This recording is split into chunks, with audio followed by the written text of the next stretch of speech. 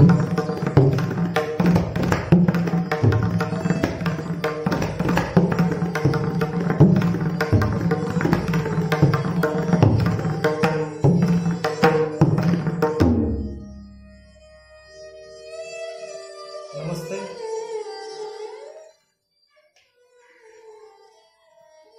गुरुजनों का नमस्कार।